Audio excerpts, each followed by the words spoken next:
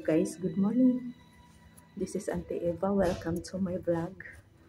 Nandito po ako sa may Kimberly Hotel ngayon. Kasi yung pamang pamangkin ko nandito naka na-extend kasi yung 21 days niya dito na sa Kimberly sa may Chinchat.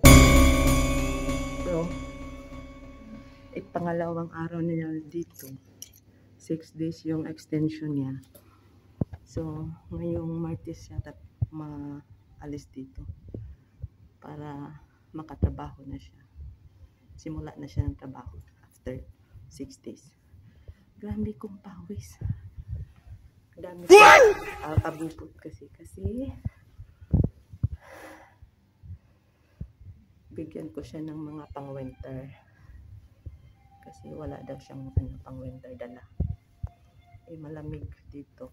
Kaya need niya ng winter clothes, jacket.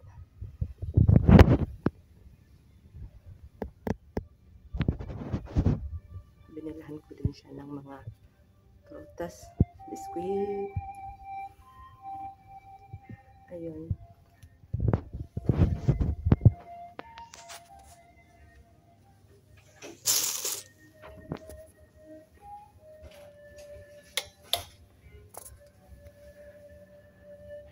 I-ring natin yung bell.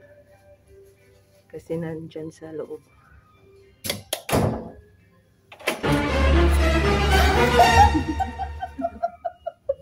Hello! Ito po yung pamangkin ko. Naka-quarantine. grabe, grabe, gipawis. Gi, pam, eh? Gi, gi, gipaningot ko to. Nakita pa man gud nini sa MPR. Nara siya din. Wala, maadto sa Gyunlong pero naman siya order nga akong gihatag niya. Oh. Di anak ko sa my Kimberly Hotel 1833. Di ah, kutob ka Martis dire. Merkulis man. Ah, Merkules. Oh. Kaya ito, ito. Yatid ko. Uy, wa kagi. Thank you.